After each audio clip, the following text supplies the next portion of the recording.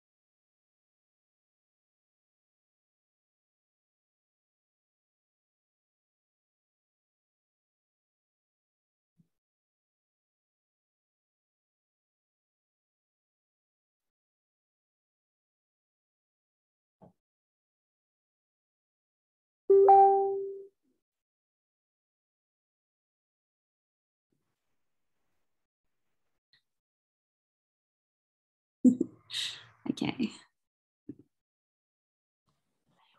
Yeah. I renamed myself. Is that you, Jamie? Can hear you. How is everyone? So exciting. So many people have joined. Um, I'll just start by introducing myself. Um, my name's Emma. I'm a birth and postpartum doula living in Sydney, and I'm also a volunteer for Home Birth New South Wales, um, looking after the memberships. So um, I had my own experience with home birth uh, about three and a half years ago, and that's really what opened my eyes to this kind of realm of possibilities with the potential of what we can achieve um, in birth, and particularly what we can achieve when we're supported in that physiological process. So I could talk about this subject for days, and I absolutely love seeing um, you know, the men in the birth space and seeing the, uh, even the ones. Is that? Tess? Yeah. Okay. One has to mute. mute yourselves. Um, even the ones that have been apprehensive about um, what they might do to support their partner, and just seeing them really step into their element and shine. Um, and it's such a beautiful thing to witness for me, and really um, lights me up. So I have to read a little bit of an intro, some housekeeping. So um, welcome to our Home Birth New South Wales webinar. We're celebrating Home Birth Awareness Week this week, and we're really excited to be hosting a week of incredible virtual events for all of our followers, just to give you some insights into um, various aspects of planning for your potential upcoming birth um, and your motherhood journey. So you can see all of the events that we've done um, earlier in the week and the ones to come tomorrow and on Saturday um, on our website, which is homebirthnsw.org.au, um, and just click on the events tab and it's all there. So, Home Birth New South Wales is a not for profit organisation um, run by committed, passionate volunteers who are dedicated to educating and supporting women who wish to give birth at home. Our mission is to enable improved accessibility and affordability to home birth services in New South Wales and Australia wide for all families that want it. Home Birth New South Wales provides families information and support in their pregnancy and birth journey, including linking women to an incredible list of home birth midwives and other services, including doulas, birth photographers, um, who all support home birth families all the time. Uh, Home Birth Awareness Week is an international event where we aim to shine a light on the safety and the incredible benefits obtained by birthing at home and support those who are seeking home birth by welcome, welcoming them into our local and statewide communities. Home birth is a very safe option for low risk women who want to have a more natural birth um, and reduce the risk of birth interventions. So, birthing at home with a midwife in attendance is as safe as birthing in hospital for a mother and baby, but also reduces the risk of maternal morbidity. Home birth reduces the chances of severe perineal tear- tearing, cesarean sections, instrumental birth, inductions, epidural use, and increases likelihood of physiological vaginal birth. Um, while providing you with the comfort and safety of your own home um, and a known to you skilled care provider in your midwife. Um, as you'll see in the events of this week, if you've tuned in to any others, um, that there are many positives to birthing at home. So hopefully these sessions will help provide more information um, for anyone that's interested in home birth. Uh, don't forget to enter our raffle, which is just $20 um, per ticket, and you can be in the running to win one of three prize packs valued at $1,500. These include birth photography, doula training, postpartum meal packs, lactation consultants, childbirth education, books, and more. Um, that's also on our website, homebirthnewsouthwales.org.au. Um, we really hope you enjoy the sessions. Please feel free to type any comments or questions in the chat box as we go. Um, and if they're directed at the guys that I'll be interviewing, um, I'll ask them. Otherwise, questions at the end. Um, we also have a few questions that came through on the socials, um, which I'll cover as well. Um, also, just by being here today, um, you're able to access a $50 discount voucher from Active Truth, who's a sponsor for Home Birth Awareness Week events. Um, if it's mainly guys here, you might not be interested, but if there are some women on, then um, I'll share a QR code at the end, which will give you that discount. Okay. Um, so just if anyone's jumped on um, while I was going through that, my name is Emma. Um, I'm a birth and postpartum doula in Sydney. And today we're going to be chatting about home birth from a partner's perspective. And what that means to me is um, communicating with men and helping them to understand that they have got everything that they need inside of them to be able to support their partner in a loving way. And I think going through this, hopefully I'm going to help some of you remember that this is just another um, just another normal event that occurs throughout your life and there's really nothing to be afraid of. So um, I think maybe I will just start by introducing um, my guests. I've got roped in two of the husbands from other um, Home Birth New South Wales volunteers. So we've got um, Sam, who is Josie's husband, and Matt, who is Jamie's husband.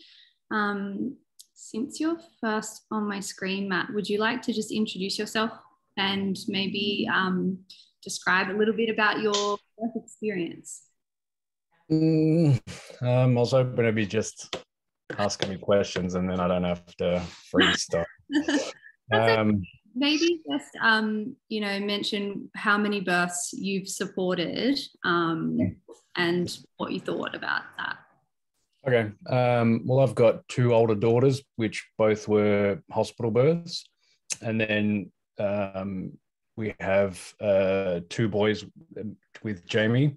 And one was a hospital birth which really set her on this whole path of um, being a doula and doing all this stuff because she just saw all the flaws uh, in the system and just like afterwards when she was reflecting on things just saw like so many gaps and just saw that there's really a need there for everybody to have better support. So that set her on this path and then she you know decided she wanted to do a home birth and you know just gave it a crack and see what happened.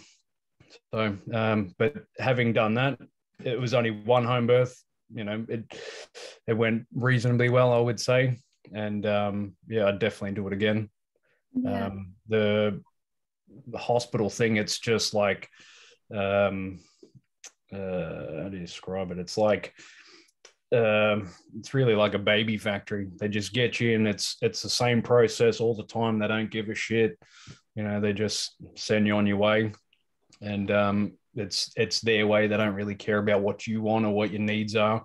Um, when Jamie was in there before, she asked for a tea, and uh, and then when they came back with it, she said, "Oh, can I get a can I get a milk?" And she's like, "It's not a hotel. Like, what do you want?" So you know they don't really care that much. Whereas home birth, you're surrounded by everybody that wants to be there. They want to help, and uh, it was just a significantly better uh, experience all around. It's more calm and relaxed. And uh, and you've got all your creature comforts. You can have the people you want there as well. You don't have to be restricted, especially at this time uh, with what's going on. So I think it's definitely better. Yeah. So, having had the experience of um, supporting Jamie in the hospital setting and at home, how did you feel? Um, like, how can you compare the two? Like, being in hospital, obviously, I'm assuming you might have felt like you're not the expert in the room. Um, it's very overwhelming with the bright lights, the same as what a woman would experience. How do you um, compare the two of supporting Jamie in the home and in the hospital?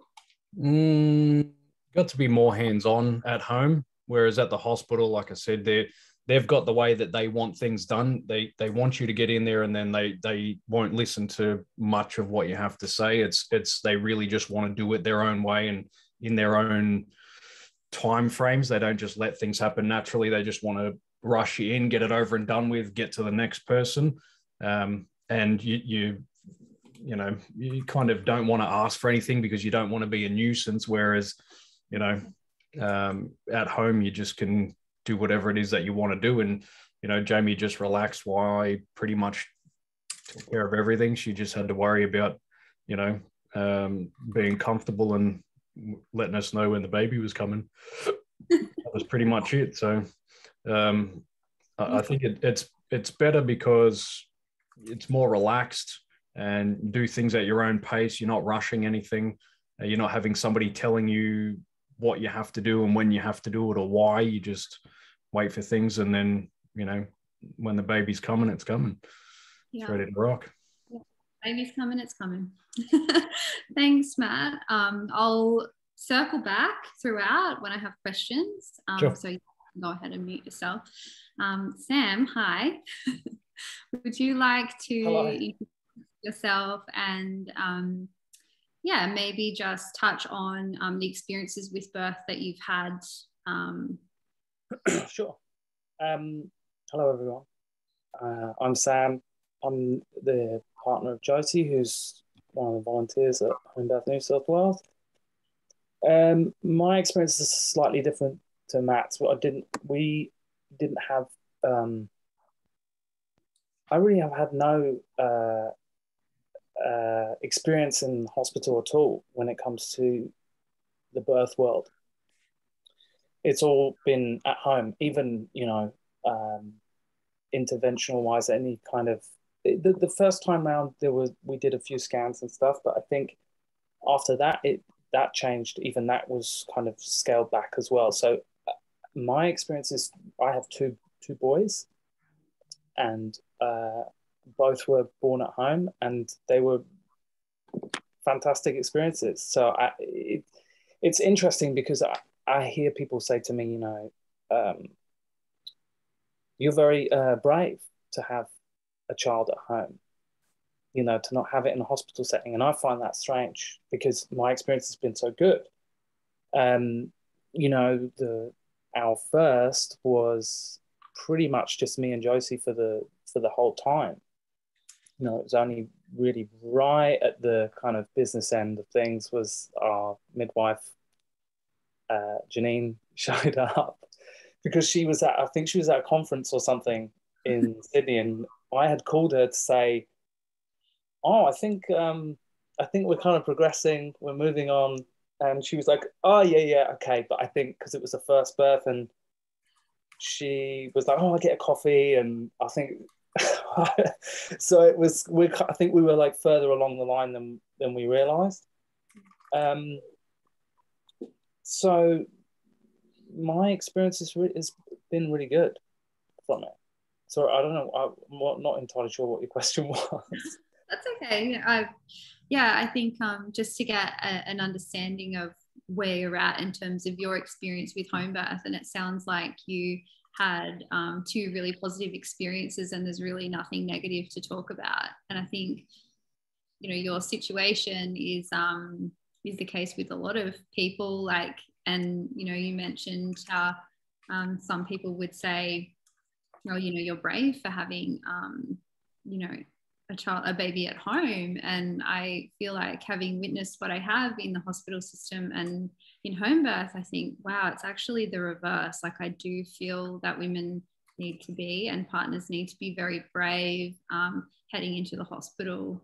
Mm. You know? And um, it sounds like, you know, more of Matt's um, experience with. Well, I mean, you, you'll know, Emma, right? But what's the the percentages of, say, uh, women who are having a, a second child who decide they want to have a home birth? Is that predominantly because they had a, a hospital birth first, or is that, or or is it normally people go straight into home birth? Yeah, I believe, um, I don't know the exact stats, but I do believe that women who have a negative experience the first time kind of go one or two ways. They um, will go back to the same provider, um, feeling like the provider maybe saved them, mm-hmm. even though it was a very negative or traumatic experience. Um, and the other way is like looking for ways to not make the same mistakes again. Um, and I think when you kind of are open to exploring different paths and you know, in my experience, I felt like everything was an option and I never ruled out anything. And I just wanted to understand, you know, what exactly are my options. I think there are women out there like that that go, hang on a minute, here's, you know, here's a great option. Um, you know, having a home birth midwife come to you your whole pregnancy, especially when you have, you know, maybe other children, makes it a lot easier. And so, yeah, I think um, a lot of women would would switch you know maybe the second or third time. Um, i guess our hope is that women choose to birth at home for the first time. Um, so basically they don't stuff it up in hospital. That would be my hope you know that we can spread more awareness about first time mums birthing at home. Yeah. so thank you sam. I'll circle back with some questions as we go. Um, so I wanted to just talk a little bit about um, firstly the environment. And I think um, you know just trying to gauge why most people are here is potentially because they are planning home birth um, soon and would like some practical things around the space and what to do. So I'm assuming that most most people here um, have got a home birth plan on the horizon. But if not, and you're completely new to home birth, just write in the chat box. You know, just love to know where you're at so I can sort of tailor the conversation depending on where you're at. Um, so the first uh, point oh, hello, planning a home birth after cesarean. There you go. So it's a second time mum that potentially had a um, negative experience in the hospital and is wanting something different. So great choice choosing home birth. Um, so I think the most important thing for um, men to remember in this space is that what gets the baby in gets the baby out. So, in physiological birth, we really need to be thinking the whole time about the hormone oxytocin because that's really the driver of labor. So when you think about what gets the baby in, gets the baby out, it's really easy to think, oh, yep, I can be intimate with my partner. Um, you know, I've got lots of experience with that. I know what turns her on. Um, you know, and and what sort of a setting does that look like when we are wanting to have an intimate moment? So the first thing that comes to mind is obviously the dim lights. You know, maybe you have soft music playing.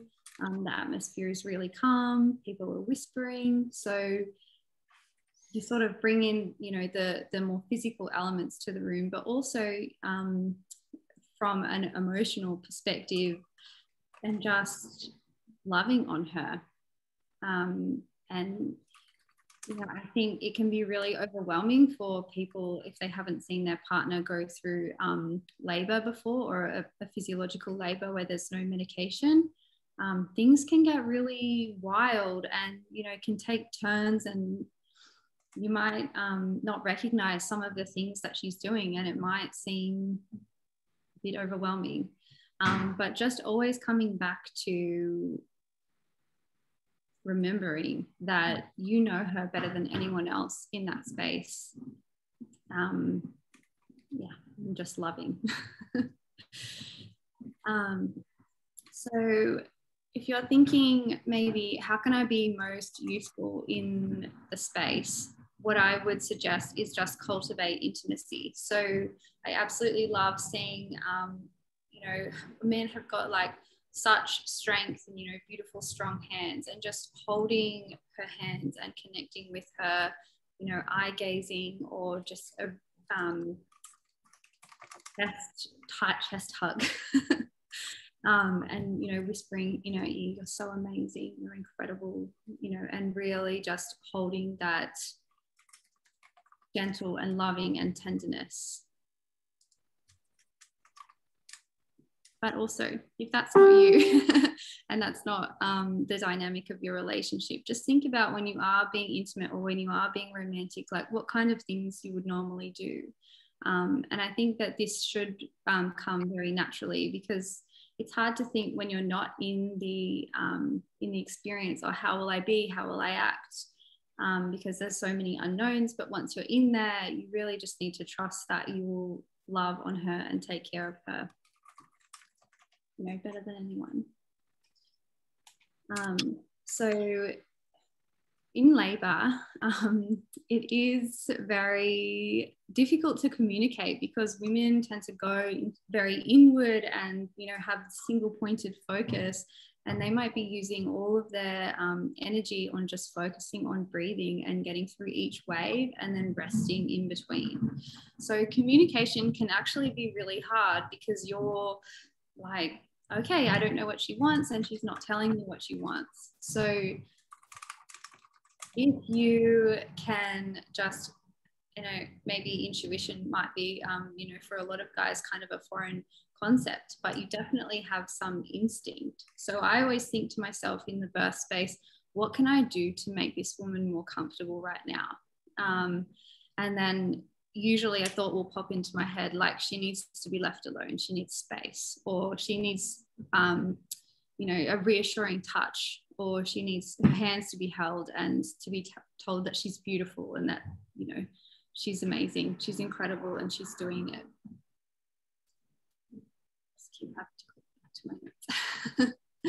Um, so and even just improvising you know, as you go along and thinking, you know, is she hot? Can I get her a cold flannel? You know, maybe put some peppermint oil on, put that on her head or the back of her neck, or, um, you know, maybe she's been in this position for a little while. Can I move her to a different space? So if she's not been in water for about two hours, um, she's just, you know, been moving around from the bed to the lounge and the floor, maybe suggest, you know, hopping in the shower and having some hot water on her back or sitting on the toilet for some time um, and just offering really gentle suggestions in a way that would be like, um, you know, um, do you feel like you might be more comfortable in the shower right now? Not like, um, let's get you in the shower.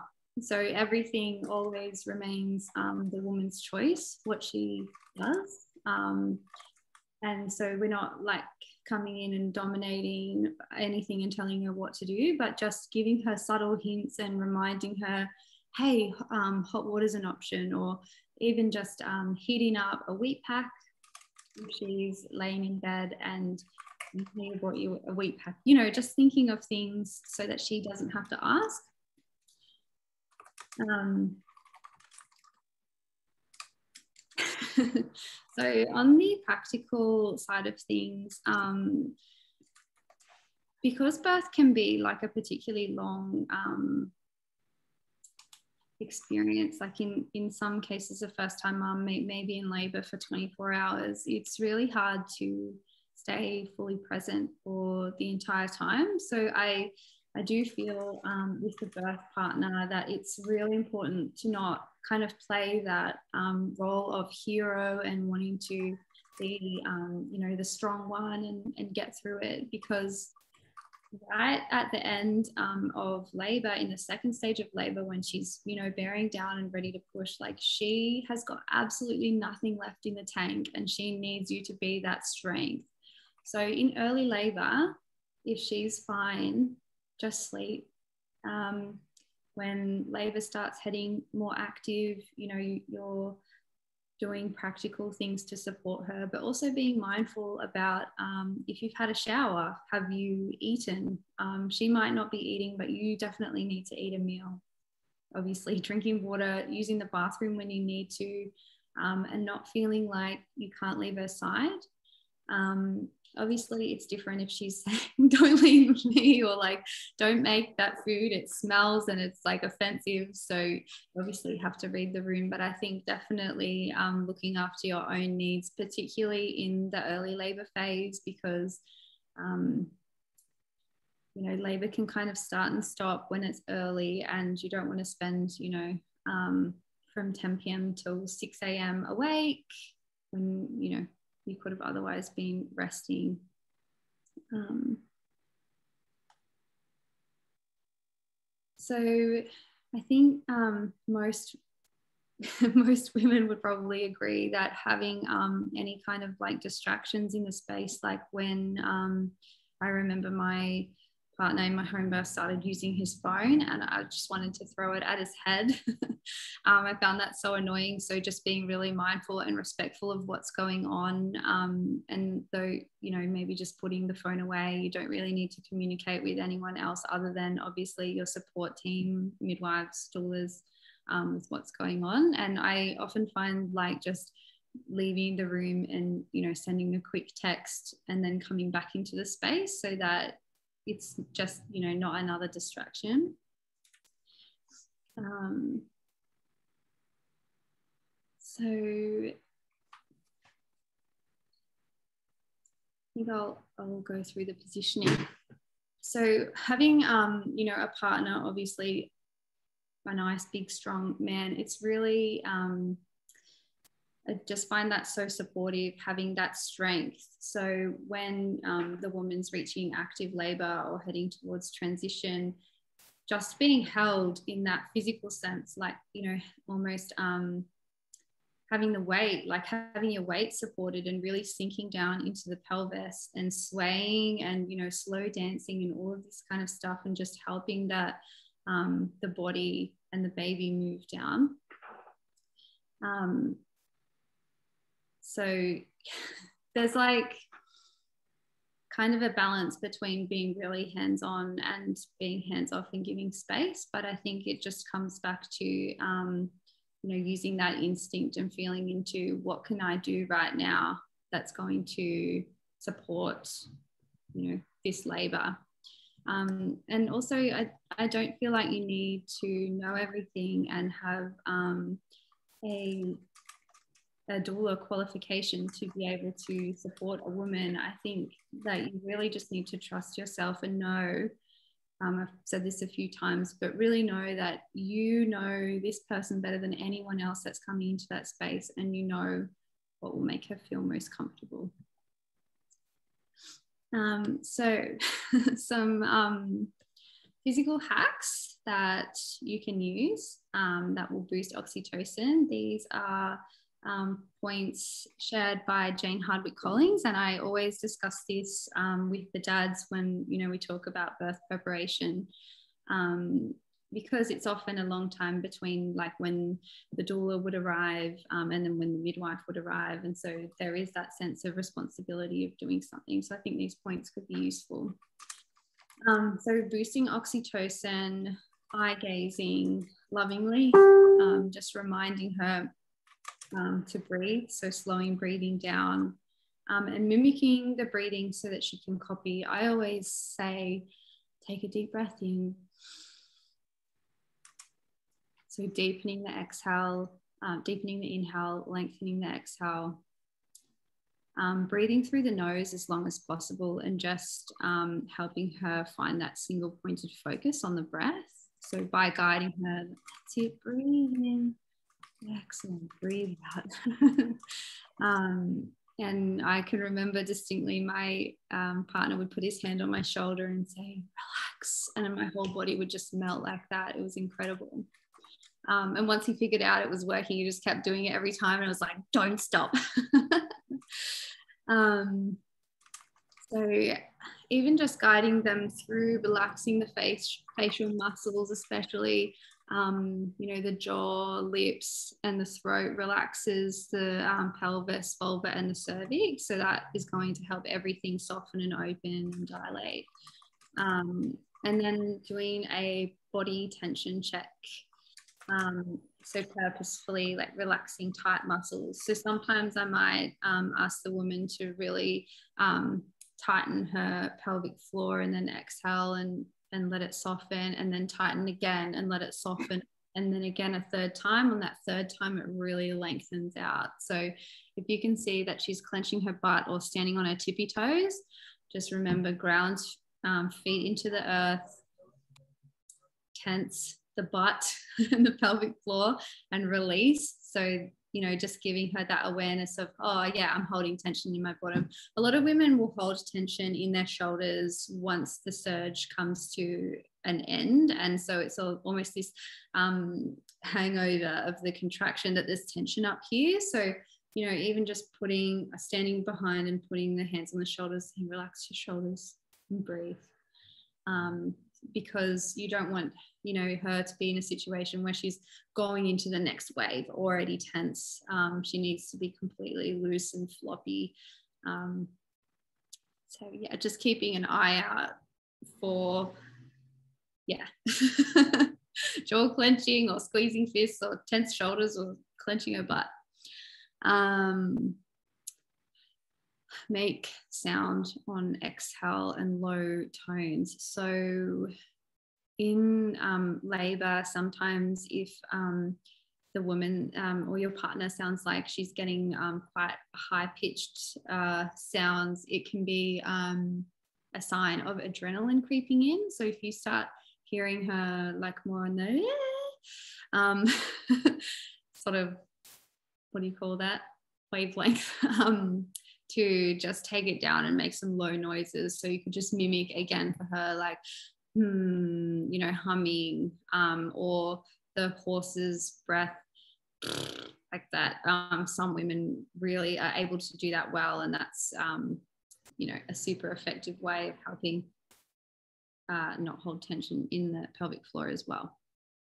Um, so the maintaining the eye gaze and um, the ventral hug, like chest to chest, full frontal hug for a full minute. Um, and this is just a really good way to boost oxytocin. So if you notice that she's in active labor, um, but she's experiencing a labor stall, so the contractions are not as sort of long and strong and regular, like they may have faded a little bit or don't seem so intense. Um, you then you would be like, all right, now I really need to bring the oxytocin back into this space. You might be kissing her, you know, um, like caressing her or whatever you would normally do um, that she finds like very nurturing and very loving, or that chest to chest hug um, and words of reassurance. And obviously, just tell her that you love her and that she's amazing. Um, so, at some point in um, the labor, women will shift the focus inward. So they completely shut off um, the neocortex and they're really in this sort of primal mammalian brain. And this is what I was sort of mentioning, where communication then becomes um, really hard. So um, in this time, it would be best to like not speak or ask any questions um, and just gentle touch, kissing, um, you know, deep pressure on the lower back and hip squeezes if she likes those or any other little comfort measures that um, you know that you've heard of or that you can think of or that you feel called to do. Um, but yeah and at a point where she really goes inward questions are almost impossible to answer because you just are not in your rational thinking brain. If it was like a question of, oh, would you like to stay in the pool or get out of the pool? It's too much. You can't answer that. You need to be like really guided. um, so a lot of the time, if I notice a labor stall um, and I'm in somebody's birth space, I would always either remove myself or send them into the bathroom or the bedroom with the lights down low um, and just say, you know, kissing and being intimate and resting um, would be best until you know that oxytocin's flowing and that labor picks up again. Um, so don't be afraid if you do have um, a midwife or a doula there to make a suggestion. If you notice a labor stall like hey let's head into the bedroom um, for some alone time and everyone will be like great idea. Uh, so um, I always find if the woman's upright, just to keep um, that variation in the pelvis and keeping everything sort of swaying and moving, like figure eights with the hips, the slow dancing that I mentioned before. Um, if she can, you know, drop down to the ground and you can have support her weight um, and help her sway and wiggle and move. Um, all of this variation in the pelvis helps that baby's head really come down um, they need to kind of do a corkscrew maneuver in the pelvis. So you want to have um, this structure kind of shifting and moving as much as possible. Um, when she's finished having a wave, she might be in the in the birth pool or on the floor, leaning on the lounge or on the bed, but just remind her, just close her eyes and just breathe and take the rest um, so that it's she's getting, you know, this almost like micro sleeps in between um, contractions just to restore some of that energy. Um, encourage the shower or the bath or the birth pool or, um, you know, whatever you can think of. Um, if you feel like she's at a point of crisis, I usually find moving um, to a different, like trying something else can help just boost her um, confidence a little bit because it is very really easy to get sort of stuck um, in a in a moment of crisis. So on the point of um, like a crisis in, of confidence, um, what can often happen in a birth space if you have um, a, a birth partner that has a um, obviously you do have an emotional attachment to this person, but it can be very easy for the woman to draw in her partner into um, what's called a sympathy loop. So, for a long time, saying, I can't do this anymore, I need pain relief, take me to the hospital. Um, and so, like, ordinarily unless there was some kind, kind of medical emergency ordinarily if this was happening i would i would realize that that was a crisis of confidence and that she needed more support to realize that she could um, carry on. I think I have seen in the past some partners kind of go, oh my God, she's not coping. She needs pain relief. She needs to go to the hospital. And it's like, you know, she doesn't. It's okay. This is the first crisis. And what we're going to do um, is just be with her in birth and support her to come out the other side of it because it's just something that happens in most labours. Um, and you know, usually it would happen at the point of transition, which is really normal, but it can happen earlier, particularly if there's a really long labour. So just be mindful if she does start saying that she can't do it anymore, um, doesn't want to do it anymore, and wants to go to hospital. You don't need to say, um, no, we're not, we're not going to go to hospital. We're not going to do that. But just say, okay, you know, let's try XYZ, let's try the TENS machine, let's try the heat pack, let me massage you. And really just reassuring her about how incredible she is and that she got through 100% of the waves so far and she can get through the next. Um, yes. Is there any? Um, I might just go back to um, Matt and Sam for a couple of questions now because we're nearly an hour. Um, so, Matt, can you remember um, what tools you used to support Jamie when she was in labour, and potentially if she did have um, a moment of crisis, what helped get her through that?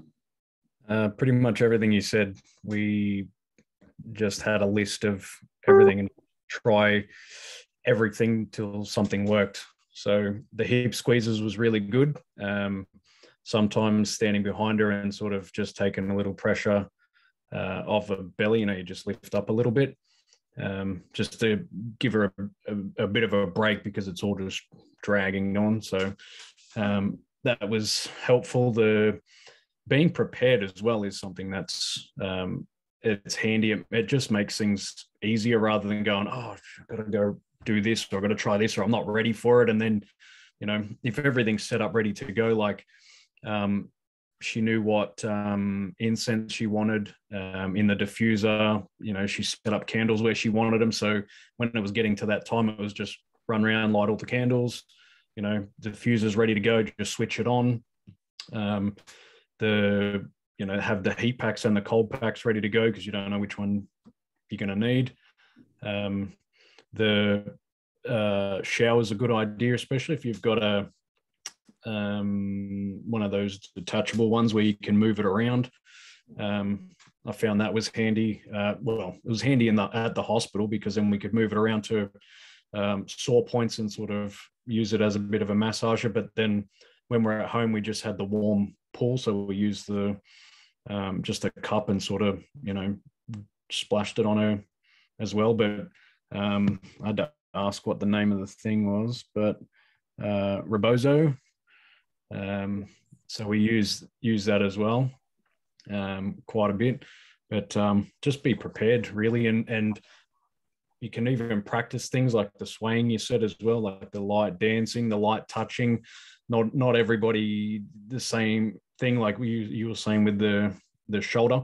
Um, she liked that sort of thing as well, but um, we just tried everything through the pregnancy just to do it through uh, mostly stuff we learned from hypnobirthing and um, um, just tried it all out and seen what happens. But there, there was something I was doing every time and it just didn't help. But I was trying it each time just to see. And then eventually that was the thing. And it was the only thing then um, that would work. But, you know, I had to try all these other things first. And, you know, it was just trial and error. But as you go through the stages, the same things won't keep working either. So it's good to have a lot of uh, options as well. Yeah, definitely having um, yeah a partner that is a doula and being sort of schooled on things that you can do like the rebozo yeah um yeah and obviously having that sort of higher level of knowledge about the hypnobirthing tools and things like that um, would have really equipped you well for birth. I can remember yeah. um, wanting my partner to really act like a doula for me. And I realize now that it's just completely different roles and where, um, you know, where his strength lay was in really holding space for me and witnessing me and loving me. And that was you know enough. And i'm sure jamie feels the same and all that extra stuff on top really would have helped get us through a long labor. Yeah well it was good. We had a doula as well because you know she was she's a doula but she's a horrible patient uh, but um, we had a doula too so um, i saw one of the questions was about older kids as well so it was handy we got the tag team we had a couple other people around too like i've got uh, said I've got older daughters, so they helped us out um, with the with Maverick. He's the older of the boys, and um, the um, having the doula being able to switch. So, you know, the doula was good. Jamie uh, picked her because she was like really tough love. Like I'm going to give you what you want and need. I'm not going to just give into your in the heat of the moment what you want me to tell you uh, sort of thing. She's like, nope, this is how it's going to happen, and uh, you know, a bit of tough love. So she'd take over for a bit, then that would give me a bit of a break. I think that was one of the uh, questions as well. But you, you need to try not to overwhelm yourself by trying to do everything because you're just going to burn out and then you're not going to be there when it matters. So you need to give yourself a couple of minutes here and there. Just you know, go outside and get some fresh air, take a breather, get a cold drink for yourself, relax when you can, um, and uh, and then you said it before that um, when they they just get to the point where they're you know they got no gas left in the tank and they're ready to give up that's pretty much when you you need to be there because everything up until there's you know you can come and go. But after that point that's where she needs to be supported the most and pushed through. Yeah i think that um you know women and it's it's such an intuitive instinctive primal um, process especially the physiological birth at home.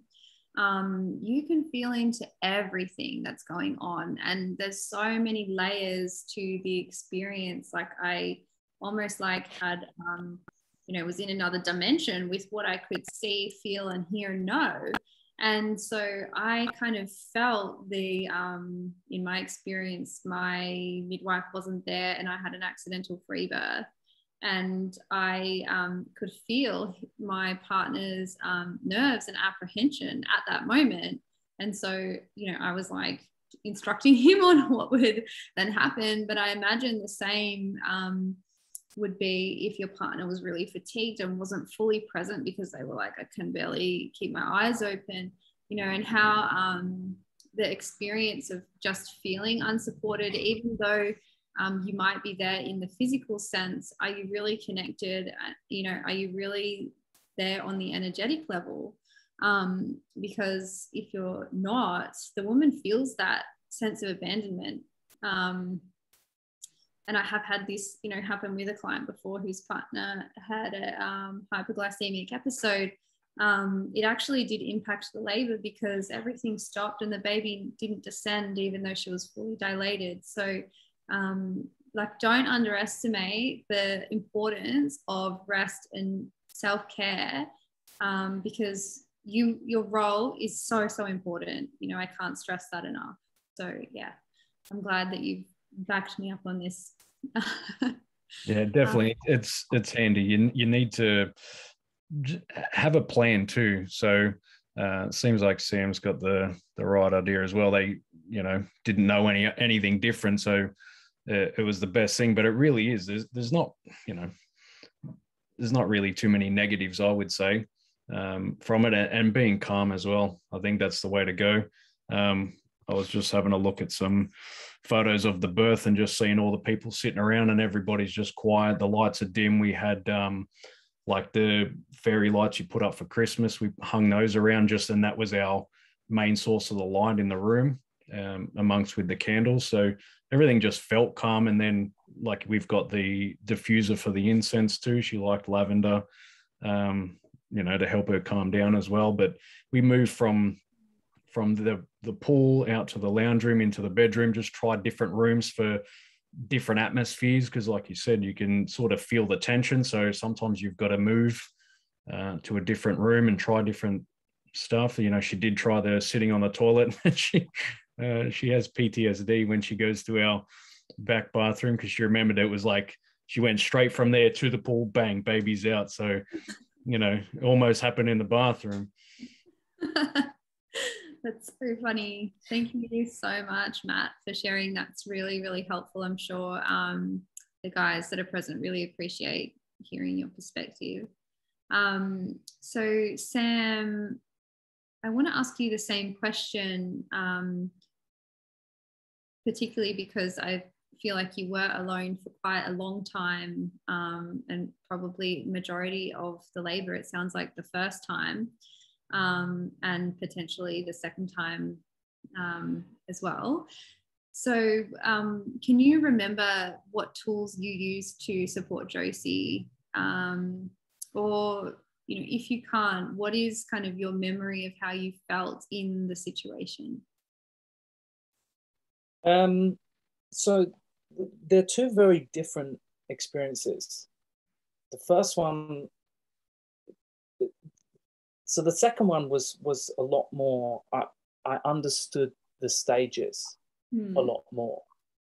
You know in the first one it was kind of it felt quite fast and um not overwhelming but but um it's just you know it's full on in a good way. Um but the second one I, I i could i could identify the stages a lot more. And like what matt was saying is like you know, sometimes you do something on one stage and that worked, and then we'd be transitioning, and then you try that again, and it's like, no, no, no, don't do that.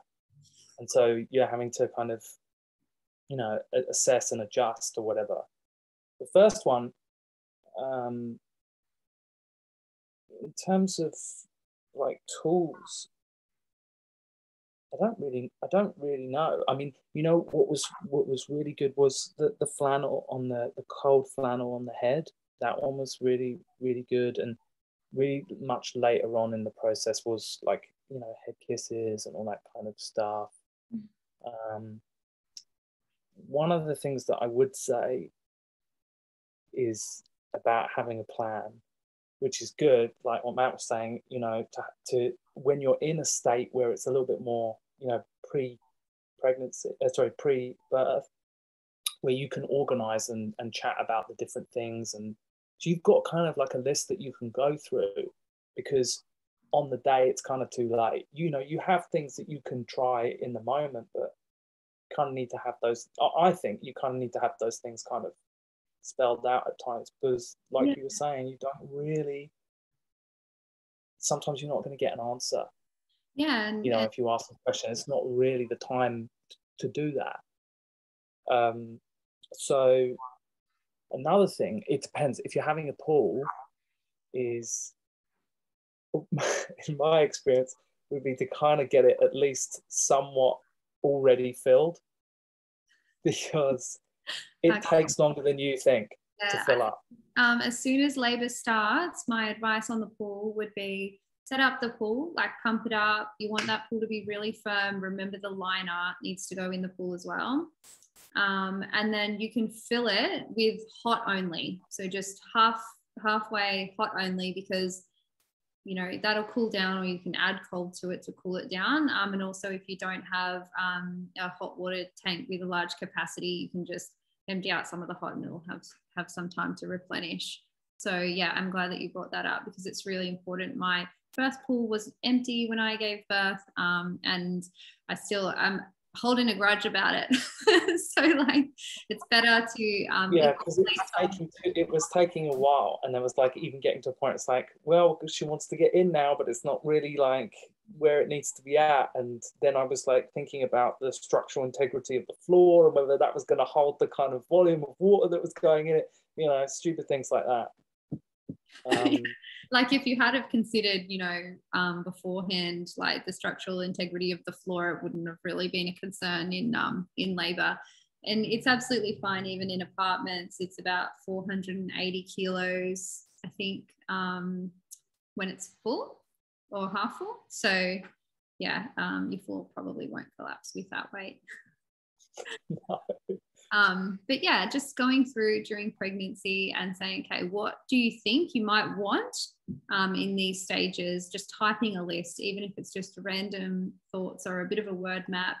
How do you want the um, space to feel? Like some women really want to have um, music playing that's more dancey, and other women really would like to be in a spiritual Zen meditative space. Um, you know, and, and obviously covering all these things off, and also the practical things um, uh, I guess a good point to raise is the immediate postpartum after birth, and um, if you're still in the space of not really being able to make a decision or think.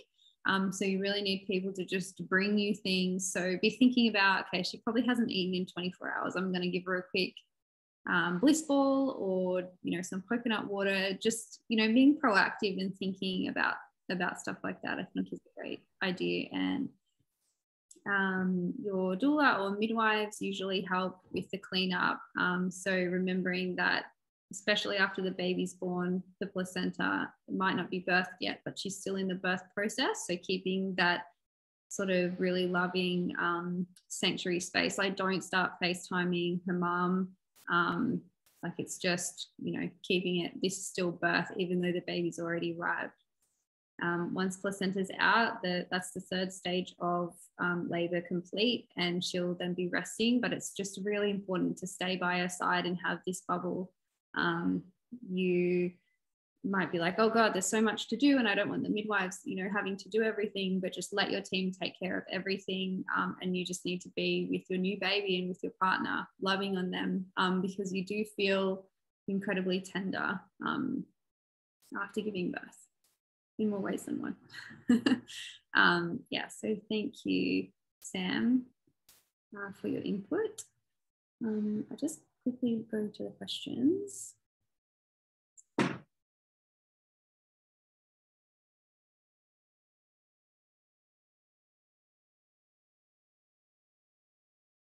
Um, so Earth Ethos has asked um, Matt and Sam, so what helped you stay present um, and centered and what were your fears?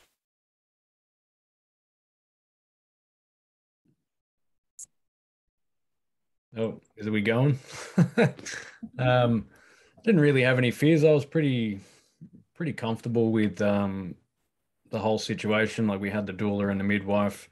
Um, you know, we trusted that they knew what we needed to know. If if something was um, going to go not our way, then they would say, "All right, you know, we've got to pack it up and and head on in." But um, yeah, it wasn't wasn't um, really concerned about anything other than that. Um, you know, we were pretty much prepared for it. We had everything laid out. We had a, you know, a kind of a, a structure like Sam was saying. You got to know the stages of of what you're going to expect, and when you get there, what are we going to try, and what are we going to need to do. But other than that, what you know, I, I, probably built it up more in my head than anything. Just going, oh fuck, how bad's this going to be? Um, but yeah, on the day it was fine. Like I was still coming and going when she needed me because sometimes it was just nobody touch her. It was me only, and and I had to be there. So I dropped everything, run in, you know, do the hip squeeze for the um, couple of minutes or whatever, and then you know I could duck back out and start making dinner or whatever. Um, you know, that all at the time all she wanted was just plain toast. That was um, pretty much all she could really stomach. She didn't want to smell anything. Um, but um, yeah, I'd say we weren't really, I wasn't terribly concerned um, about anything really. So, you know, I was pretty calm. Um, I just went through the photos to see the see the stuff and just for have a little bit of a walk down memory lane. It was nice. Yeah, awesome. Thank you. Um, I do feel like, in terms of fears, just to put my perspective out there, that um, it can be scary with the unknown and the build up to the day of birth. But once you're at the day of birth um, and you're in it, um, just witnessing the absolute perfection of labor and how it usually starts very slowly, very mildly, and allows you know all of these natural pain relieving hormones to be released in the body, and just witnessing her move in a primal manner, I feel like you just build a new sense of um, trust for birth and for women's bodies. Um, and so I do feel like actually witnessing the birthing progress helps to dissolve a lot of fears. It also feels like this is very normal and something about birth feels familiar. I know the first time um, I went into labor and I felt those sensations, I, you know, I was like, this doesn't seem as scary as what I made it up in my head you know it was very i was welcoming each each way. So um yeah so sam um to speak to your experience a little bit with josie the first time did you have you know fears or concerns um with the labor? Um not not overtly no. Um kind of carrying on from what you were saying about birth and you know there's something familiar about it but that's definitely true. Mm. and it's there's something it's really primal and it's really kind of magical really. It's very amazing to witness it. And i feel very uh, privileged because i got to see it in in a in a really stripped down version that a lot of people don't don't get to see. And so um it really was, uh, you know, like a it's, it's such a natural thing, um, and it's just about trust. It's about trust in nature doing what it does, and your partner having all of that equipment with her. It's all innate within her, so she knows what to do. And you, in a way, even though men haven't been so involved in birth. we do have instincts, we do have a certain understanding. And even, you know, in the second one, when our, my older boy, he came in, he, he knew what was going on in a way. He was, you know, he was a bit confused or whatever, but he also understood that there was a process happening. There's something going on. And even my dog as well, like that's another thing, an animal, like he understood what was going on. You know, it's, it's, um, it's an amazing thing, you know, and uh, yeah, I don't really have this, you know, that many fears at, at all, really. Yeah, that's great. My internet, sorry, I just got to fix my internet.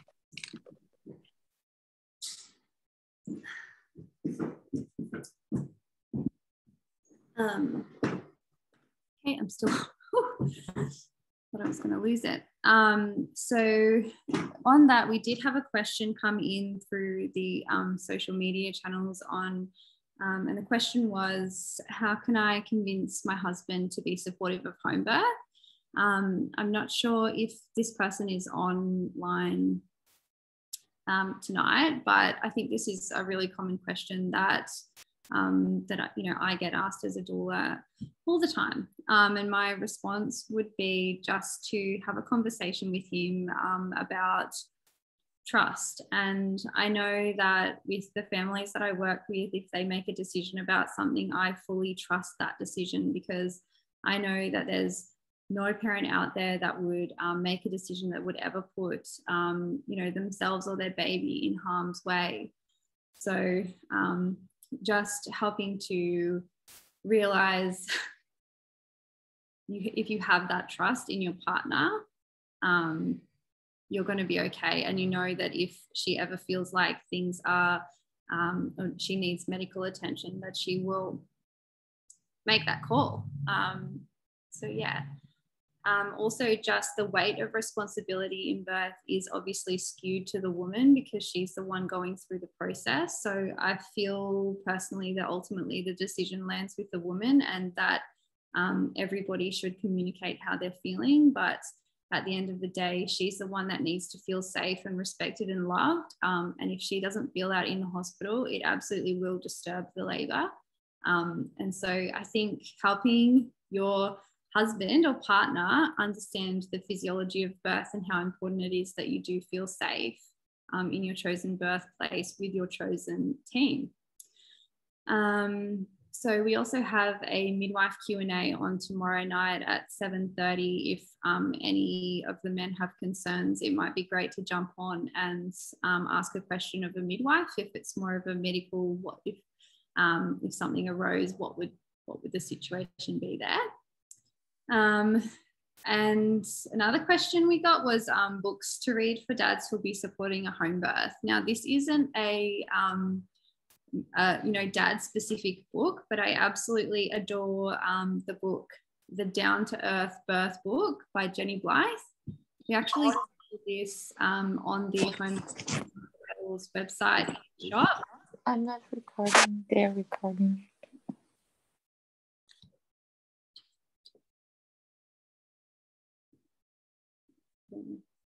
Um, so yeah, if you are looking for a book that will help you understand um, a physiological birth and how to support a woman um, and you know different positioning techniques and comfort measures, it's such a beautiful book. It's a keepsake, something that you'll pass down to your children. Um, so definitely go and check that out. The Down to Earth Birth Book by Jenny Blyth, available on our website. Um, and was there any other questions? Matt and Sam, did you have doulas? I think um, we touched on this, Matt. You had a doula with Jamie. Awesome. Well, I think we are at time. And if there's no more questions, I might just leave you with how do I do this? Thanks, Mel. Um, sharing my screen to give you the QR code for the Yeah, there you go. So that's the QR code for the Act of Truth um, gift card if you want to take advantage of that. Just scan that code now. Um, yeah, but otherwise, thank you. And thanks so much to um, Matt and Sam for jumping on um, and sharing your story with us. And sorry that I put you on the spot, but you both did amazing. So thank you very much. No worries. Thank you very much. Awesome. Thank you. See you later. Bye. Bye.